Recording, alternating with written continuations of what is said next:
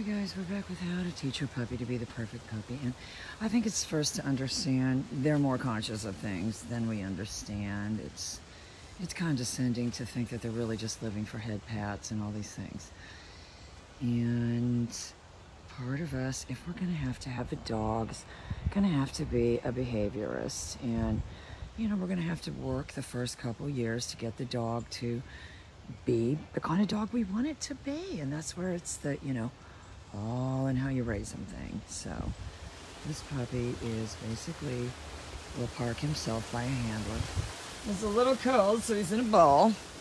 But he's gonna go wherever I go. If, if I want to get him to that platform way over there, all I've got to do is go there, and that's all he's gonna have to see.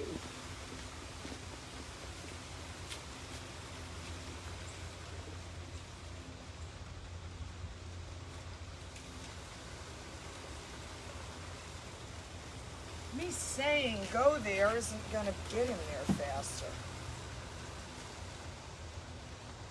So, me understanding they, you know, especially when they're a young puppy, they've already learned the behavior of following the mother around to get food. That's the agenda. So now he's parked himself. It's, it's honestly, it's scary how good this puppy is. But I haven't made any missteps. And so if you said any missteps are going to... Yes. Yes. It's like these when they have... It's, I watch too much oxygen. I understand that. You think everybody's a killer from watching this. But uh, I always get the mother to go on there and say, ah, oh, you had a terrible childhood. Ah, the stepfather beat him. And it's like some excuse for them to get the death penalty. So if I want the puppy at the platform, he's going to be looking at my feet.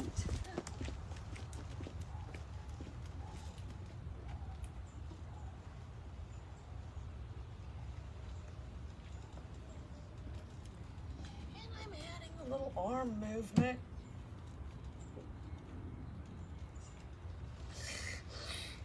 Grab headphones. I'm adding a little arm movement too.